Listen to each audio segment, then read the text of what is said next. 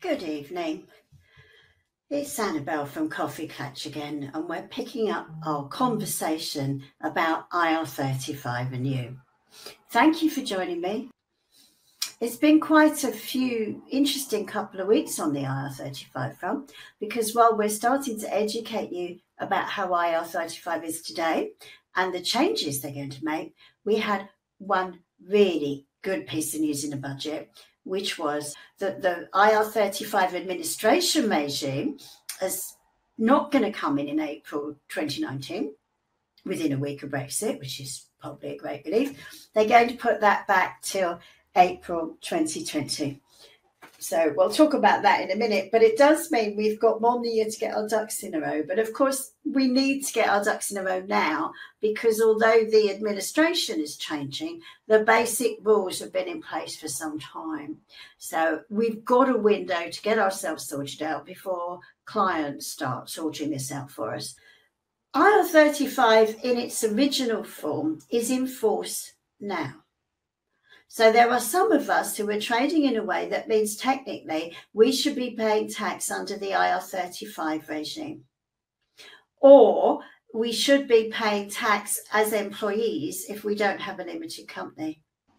So what IR35 is about is about taxing your turnover in a similar way to pay as you earn. Now you don't have to have been in business very long to work out turnover isn't profit and um, that can have a particularly bad effect.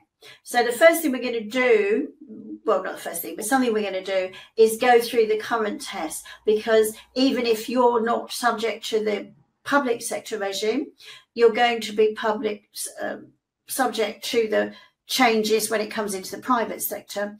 We've bought a year by Hassling. This isn't happening in April 2019. It's happening in April 20 20, but I want to gently go through this with our groups over the years so you can change your business model if you need to, to keep outside of this ambit. And there are reasons for that because if you just uh, fiddle individual contracts to stay outside of it, the, the revenue can go, no, no, no, it's the dodgy arrangement. So what we have to look at is your business model.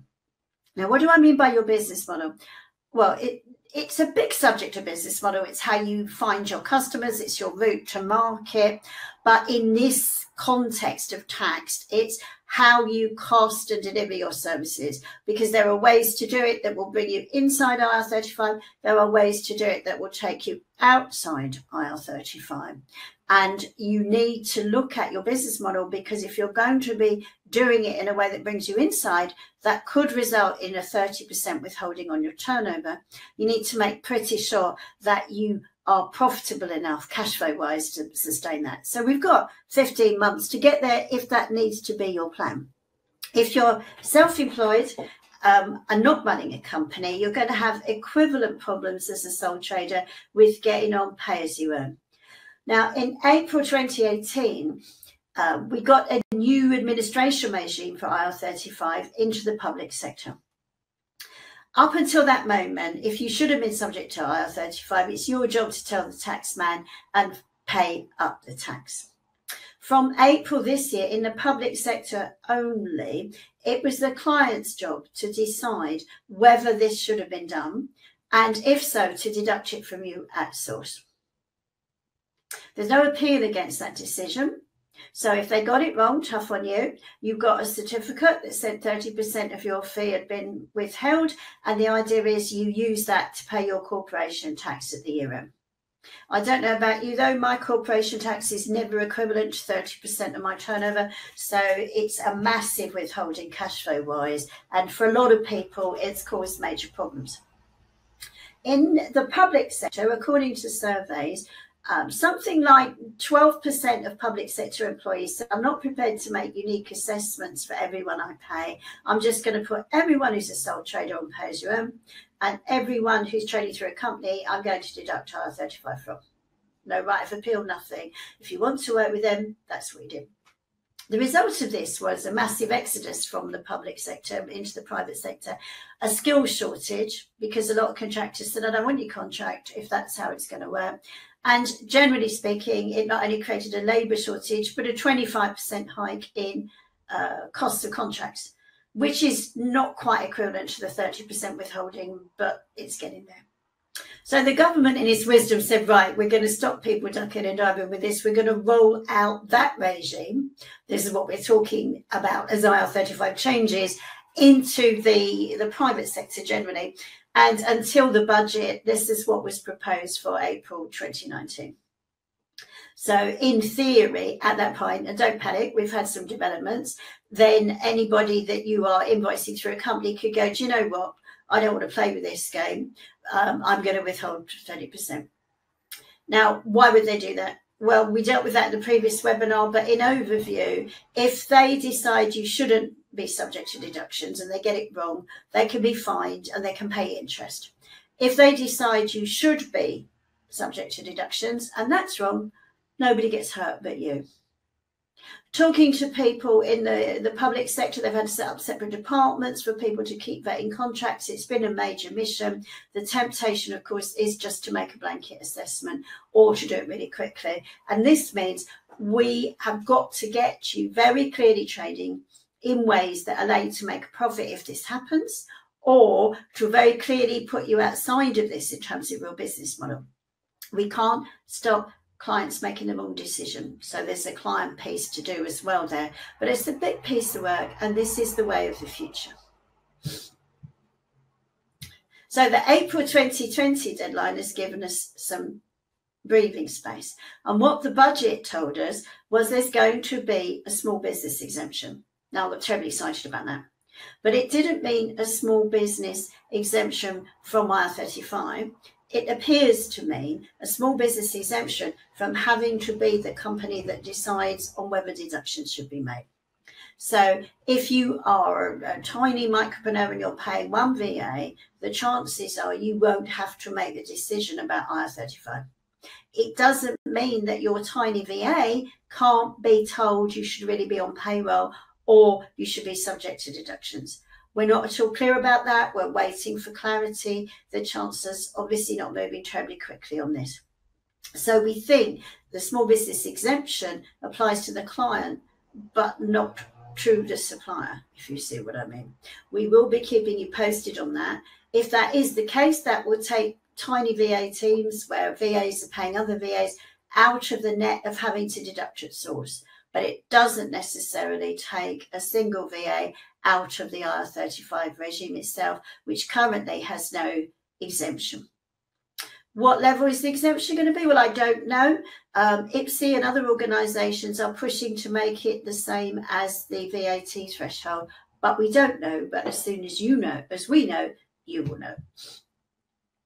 So the important thing is to stay out of creating a relationship with your client that makes you a sitting duck for IR35 we went through this briefly again last time. Some of the tests are about control. We're going to do a lot more about that this time, about whether you can substitute and whether you are integral to the organization. There are lots of other tests too, and we're going to do a lot more on that tonight. But the problem for a lot of VAs is that the they've let the client set the hours of when they work. Now, I know a lot of great VA coaches tell you not to do that, but if you've let the client say you will be available Mondays and Thursdays before lunch or whatever, you've just ticked the control box. Substitution is another problem. Although our contracts give you the right substitute, and we will be updating them progressively as we know what's going on. If the client has never, in fact, let you substitute, it's a problem. Because it's putting you in the control in the worker box if not in the employment box. And that means the tax situation changes and indeed the whole thing about employment rights begins to change. What I'm suggesting to you is that you make sure you have an associate that you can substitute that you keep records of your substitutions and you use the forthcoming Christmas and Easter holidays to start training your customers to accept a substitute if they've never done it before. I think we're going to do some webinars for your customers about why this is important. We're not going to leave you on your own for that. There's already a blog on the KoffeeKlatch site about this. But if we can't get the customers to allow substitution, very many of you are going to fall into this trap. Now, integral is really whether the organisation relies on you. So um, we will be going through that in more detail. These are not the only tests, but these are the areas where VAs particularly tend to fall inside this by mistake. And anyone regularly attending the client premises for fixed hours has got a really big problem. So some of the things that we need to look at are retainers because one of the things about retainer arrangements as opposed to working by project or ad hoc is there is an expectation of ongoing work. And this is one of the tick boxes. So you ask yourself the question if i don't speak to my client today and i make no arrangements during november and i do the work i've been given do i know i've got work in december? Because if you do you've ticked one of the boxes now, don't panic about these things because the IR35 test is a combination of things, but the more boxes you tick, the more likely you are to fall inside it. The next question that HMRC are very fussed about is who runs the risk of overruns? So if you're working on a fixed fee project, then you're running the risk of overruns. If you're working on a retainer arrangement where you just do the work, and if it takes you twice as long, tough on you, you're running it. But of course, many VAs work on the basis of extra time outside the retainer is more. So you wouldn't be able to tick the box if I run the risk of overruns. If in fact, if the project takes more time, you charge more. Similarly, the risk of reworks. If for some reason the draft is no good, who pays for the time of redoing it? If it's the client, you are moving towards the IR35 stroke employment box. If it is you, because you didn't do it right in the first place, you are moving away from it. So, in order to get ready for IR35, some of the things I want you to do, and we'll come on to the test in a minute, is to start to really monitor your time not just because you're offering hourly rate services, but to begin to look at what can you offer as fixed fee, what can you offer as packages. There's a reason why it's a trend out there in the micropreneur world, and that is because packages and fixed fee do not a project-based work when you go to write you a website will cost you X rather than so much an hour, so much a day, are much less likely to attract this kind of taxation. Other thing, be very careful about is doing work regularly on the client's premises. We all rock up for meetings, but if you're basically um, going there all the time, regularly, you're ticking another box. Unending contracts are a problem because of the commitment to continuity. Now, the way we've set things up in our contractual system for you is you've got a framework agreement which is unending, and that doesn't matter because the bookings end. Now, you might think, well, if I could have an open-ended booking form that says I'm booked for the rest of my life, I've got a client for life. But that's just like having a job. And we need to start finding ways to work naturally and easily. I think about attending once a month if it's if it's a team briefing is fine. I'm really thinking about the VAs who go in and you see them advertised in the VA forums, needs to turn up on site three days a week, needs to sit on site and answer reception and calls that is an issue because the inland revenue are definitely going to look at that um, as disguised employment. Now, what I'm going to suggest is um, that we go through some of these tests um, that the inland revenue go through because the answer to this is not what I think about this, it's what they think about it. Now, what I want to tell you is that the link I gave you in the last webinar is to a contractor website that is returning very accurate results. The link we are about to go through um, is the HMRC's one. I'm sorry to keep calling me now. I'm getting old. HMRC's website is fabulously inaccurate. For about 20% of people, it returns the wrong answer. And for another 40% of people, it returns an answer that's than useless because it basically goes maybe, maybe not. However, this is the website your clients will be using if they want to find out whether they should be deducting from you. So it's a very good idea to get your arrangements in line with what this site throws up, even though you may be fine if it says you're not fine because it's going to frighten the life out of your clients. So what you're going to say, risk a fine and interest and don't deduct tax from me because I dispute HMRC's website. You can see that that's going to be a bit of a tricky thing.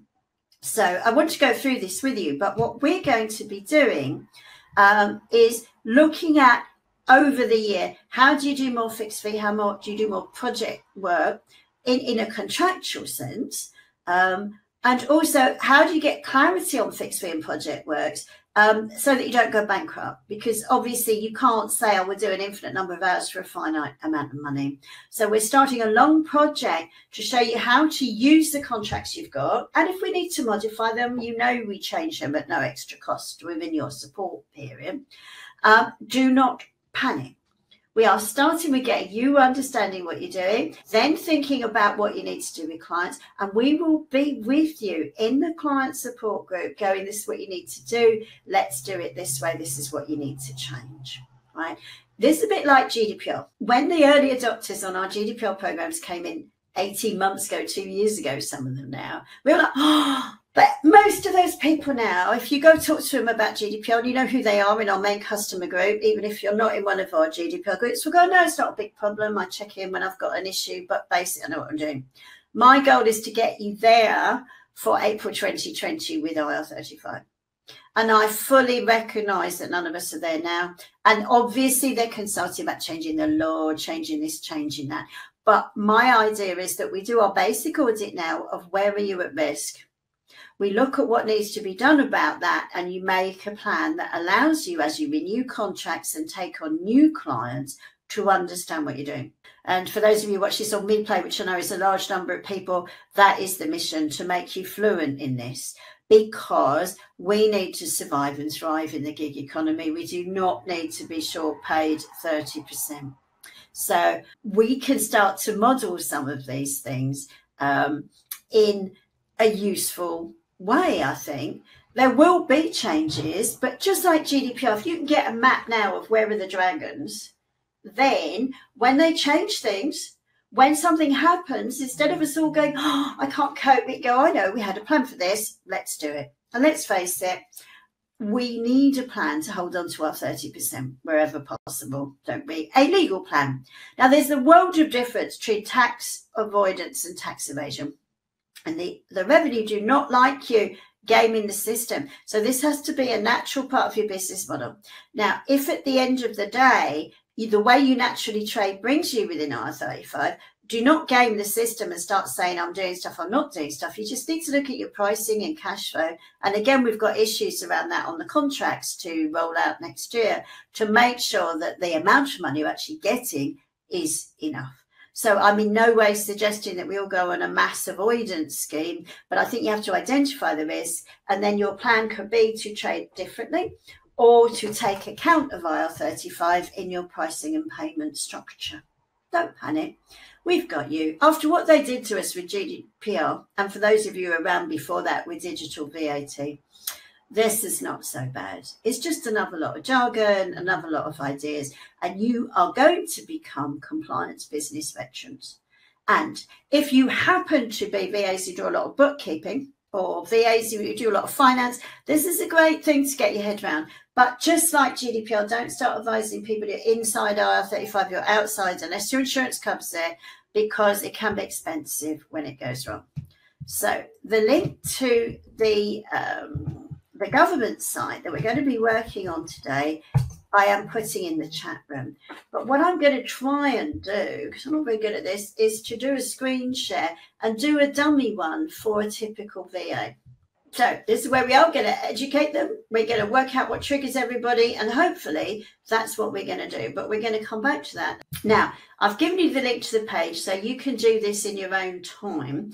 But I'm going to take you through my imaginary VA contract with my imaginary VA. So I'm going to go to this page and you can read in your own time all this stuff because this is where your clients will come and this is where you can come.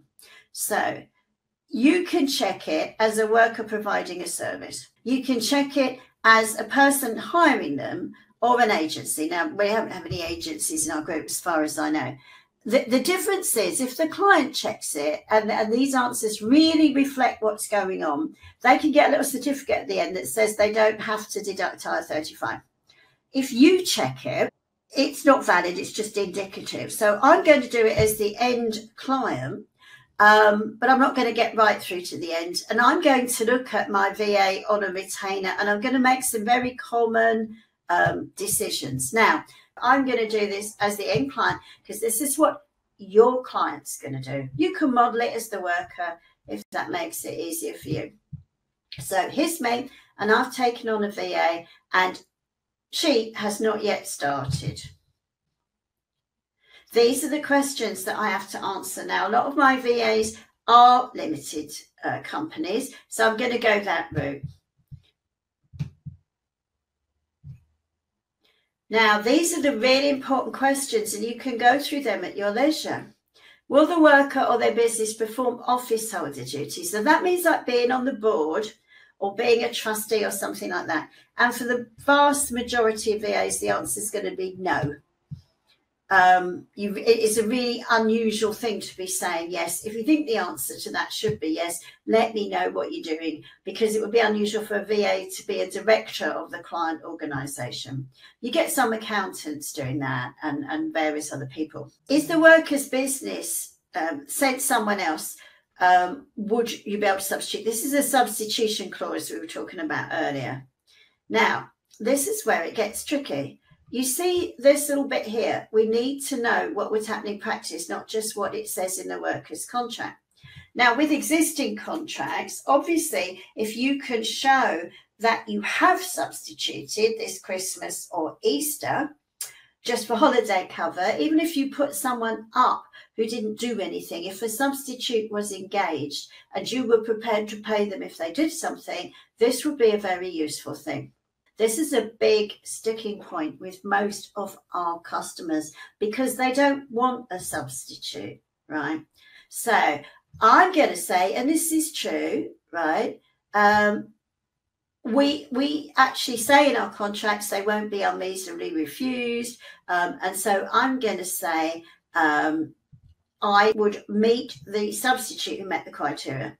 If your clients tick the other box, you get a very different result. Would my VA pay the VA substitute? Yes, they would. I would get another one and use them instead. This is really important. Out of IR35. You can see that by simply allowing a substitute and the VA paying it for themselves, you get straight out. If, on the other hand, you're not allowed to substitute, so let's suppose you were a world class opera singer and nobody would want me instead of Pavarotti. So it wouldn't make any difference that the substitution was there. Well, I have this problem as a speaker in the nicest possible way. If you book me to speak, most people don't want someone else. So not all businesses allow substitution. So what you have to do is model how yours is really working. So I'm not going to take hours of your time and go, what if substitution isn't allowed? What is? But what I want you to do as part of this project is to use that test for your biggest contracts, the way they work today, or the commonest way, you know, because we all work in more than one ways, and see what you're getting. As we're all in business, I'm taking it that most of us want to be in business and we do not want to be dragged back into um, the hybrid space. There's a massive argument going on about that um, in terms of tax and workers' rights in the gig economy. And I don't, I don't want to give you a headache about the various 98,000 proposals that people have put forward. But at the moment, you would be in the invidious situation if you were taxed under IR35 of being taxed almost as if you were an employee with none of those legal rights. So what I want you to do is to complete that as the work of, or do it as an imaginary client for the arrangements that you're uh, actually, you know, looking at for your business model. And um, you can check back what your answers were and why. Um, and you you can actually, if if you're getting the right result, the client can do it and get a little thing that says, no, this is a valid arrangement. The problem is if the boxes that are ticked don't match what you're really doing. Now, what I want you to bear in mind is the IR35 test is per contract. So I could have two contracts, one that came out self-employed and one that came out IR35 right? Because we do work in different ways. So as a speaker, I've got more risk of, of being a worker, which is a hybrid in the middle, because they won't accept a substitute. As me doing this tonight, um, now, what we've got to do is to make sure that the way you work keeps being tested against that because HMRC will from time to time amend the test because that's what your client's going to do. Most of us have been going forward on the basis that if we say we're self-employed, we are. If the contract says we're self-employed, we are. But there are customers we know we have in in our customer group who if they do this test will fail. So i'm not asking everyone to do it publicly. And i know already some of the people on the uh, previous webinar got some very grey results that we need to work on. And those were um, people who weren't allowed to substitute. Because if you reverse the answers that you just did and put in you're not allowed to substitute or it's very restricted all the other factors will come into play and you can get the opposite result. Now the risk that we run at client goes i don't want a substitute fills in the wrong answer. Now they're deducting IR35 from you. What we've got to do is check out the results ask ourselves would the clients really fill in those results? We've got to start training clients to accept substitutes basically. Um, not all the time but i think our campaign might be high days and holidays. Now most of my regular va teams by the way do offer me substitutes for christmas and holiday. I don't find it an issue. I don't use them very much but i'm quite determined with mine to do an hour of each over christmas and make a record of it um, to be sure. We need to start educating the clients because if they're going to, imagine this, you invoice a client a hundred quid and they pay you 70 quid and a tax certificate. Now go down to Tesco's and tell them I want to pay my grocery bill with a tax certificate. It's not working, is it? We are pushing very, very hard to get the thresholds up and to make this easier on everyone. But I'm never optimistic about how much sense the government is making. So we're also pushing you gently to go check whether you're within scope because what's changing in April 2020 is whether the client has to figure this out. If you come out as in scope now, you're in scope now and you should be taxed that way. So you need to move forward with that. You need to be very, very careful about these ongoing retainer arrangements with no substitution allowed. And you, you definitely want to start sorting them out. Be very careful for regular attendance at the client's premises and watch the control test. Now, I don't know if you want to do this again without the substitution, but when you start going, well, maybe substitute, maybe not, all these other questions come up and you'd be surprised how quickly you end up with probably IR35. So yeah, you should be self-employed. I think we're all entrepreneurs. I don't think we've got any customers, unless I'm mistaken, who actually really wanted a job and actually are just invoicing as another way of having a job. Most of our customers are born entrepreneurs, love you all, love what you do, love how you thrive. And that's where you want to be. And we want to support you staying there. So if you get into the habit of doing this test when you start a new arrangement, checking it out from time to time. If you start getting in the grey zone, get hold of me. Um, we also will be slightly changing the contracts in the new year to say to the client, you mustn't refuse a substitute, suitably qualified substitute. But for some of them, that's going to be a real problem one of the things I've been thinking of doing, and I mean, again, it's up to the group. We do a lot of webinars about the legal issues of being a VA, but we've never really done one about the legal issues of having a VA. And I'm wondering whether, I mean, I'm absolutely sure that anyone who's using our terms, as you can see, it's quite easy to pass all these tests, is getting it straight. But we've got a lot of clients who know nothing about it. And yeah, is there something we can do to start to educate the end client? Because if the client says, I mean, one of the things you could do is say, I've arranged Jane Doe to be on call the following days as a substitute for me because I'm having this time off over Christmas. To what extent would a client go, How dare you? I mean, they can say they're not calling, but you've arranged a substitute, haven't you? Now, for some clients, that would be fine. I think I did it with Jenny when she was away over the summer. Um, she said, I've got some substitute on who's up for urgent work. And I think I emailed her about a couple of things. I didn't email as much as I would have done with my normal VA in place because there's too much explaining to do, isn't there? But for me, that was adequate. For another client, that would totally freak them out, wouldn't it? You guys need to get going with, well, what exactly could I do that would start to build this record? Because I don't think you're going to have, um, it's difficult with special category data. Yes, it is. And this is why the contracts we did for GDPR, I say it myself, took a lot of time and effort because what we've done is we've controlled the data, not the people. So, what you do when you organise a substitute is remember the data processing form you and your client filled in because of VA terms. You give that to your substitute. You do back to back contracting, so they are bound by the same terms in terms of data processing that you are. And of course, you're using hopefully a VA hiring agreement or equivalent, which is absolutely full of confidentiality clauses. Now, not all of, even a client who has a lot of special category data doesn't have only special category data. Excuse me. So you might have a health related client who does um, a lot of stuff that you really couldn't share, but you might be able to get a VA to do one mailing. Now you've substituted. You don't have to substitute everything you do. You have to substitute something you do, and there has to be a record that you paid that VA. Now, obviously, that affects your profitability if you're paying a VA to do something. You could perfectly well do yourself. But if you're growing your business and you're getting to the edges of capacity anyway, if you start to get little bits of substitution into the clients you service, you are building that business structure. Does that make sense? And yes, the government has made it very difficult by insisting we control data for GDPR, but not individuals for IR35.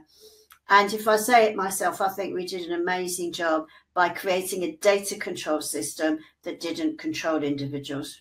But it did nearly kill me. So I'm hoping that they don't do another spanner in the works. Um, but yes, it is difficult. And, you know, you might have to spin it all down. Um, I think everybody should be looking for a kind of substitute buddy of someone who you can trust to do the low end bits um, and, and keep a record. And that's going to take time. Because don't forget, the test is not can you substitute? You have to be able to show, if challenged, that you have. So if you tick that box and you've got no record of substitution, that result can be invalidated. So it's kind of finds a buddy time, I think. So you know what you're doing. You're testing the contracts using this one, and you're going to come back and we're going to start paving the way for substitution. And that means properly contracting your VA, yes, it does. Um, sorting out the GDPR side of things and beginning to set up a system where you have substituted and you can show that you have. Now, substitution is not the only way to demonstrate that you're truly self employed, but the lack of substitution makes you go through all the other tests. So, if you can do it with substitution, it's an easy one. If you can't do it, go back through those tests and say, I'm not allowed to substitute and see what you get. With that happy thought, I'm off to think about IR35, contemplate the nature of GDPR in a post Brexit world, and get on with life and universe and everything. Thank you very much for joining me tonight. See you back in the room. Bye.